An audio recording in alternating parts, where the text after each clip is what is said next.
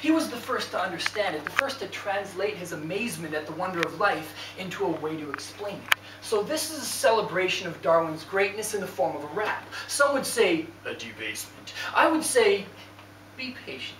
Just think of this as a manifestation of the evolutionary equation, a recapitulation of life, a, a reenactment. So how do you go from amoebas to rappers?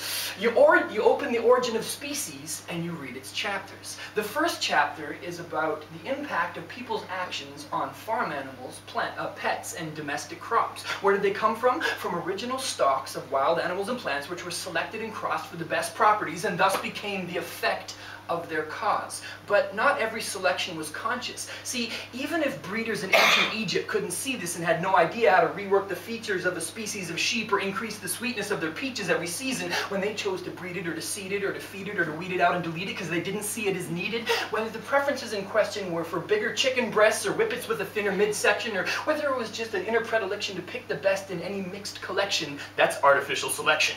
But there's nothing artificial about domestication. Ant colonies keep domestic aphids. It's just an arrangement where one hand washes the other. We protect the cow, and the cow offers the udder. And even if there isn't a conscious discussion, if our little selections and little preferences can change and enhance the critical differences between wild and domestic breeds over the centuries, then maybe that can explain everything. In the nature, it isn't us that makes the selections. It's survival and reproduction in the midst of competition where slight differences that arise randomly get selected by the pressures applied environmentally and eventually species divide like a family tree into everything alive from a fly to a manatee. So how does this apply to the craft of the MC? Well, variation can be found in the styles on display. I mean, poets and rappers all have different techniques when they're on stage, and the results can be seen in the audience's face. Like, for instance, at this moment, you all look amazed. Like guppies removed abruptly from their aquatic space.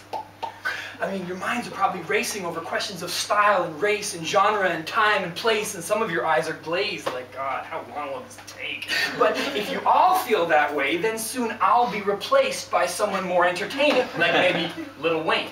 This is the rap version of the doctrine of Malthus, the proportion of hungry mouths to food resources in the form of captive audiences, where crowds of two or more will always be at least half as common as performers. Can you see the mathematical problem? But survival on stage is a non-random process because those who get massive responses tend to influence those who aspire to get massive responses. So if you say I sound like for instance, Eminem, I'll say, that's preposterous. But if you see me grabbing my crotch and acting obnoxious, then I might have to admit that this is a form of imitation modified by experience, which is similar to the genetic basis of inheritance, except it's a little bit Darwinism and a little bit Lamarckism as genes and culture co-evolve as we rock to the rhythm. But whether you think cultures really evolve, or if it's just a silly metaphor that's pretty but false, or, or whether you've never even thought about that, I still think Darwin can teach us a lot about rap rap, and vice versa, because it's all about that competition for status with intricate language delivered in battles, plus fitness advantage and those different adaptive behavior patterns that have us acting crazier than Capercaillie mating dances. But hey, that's natural selection. So just sit back and listen and witness the evolution of the rap profession.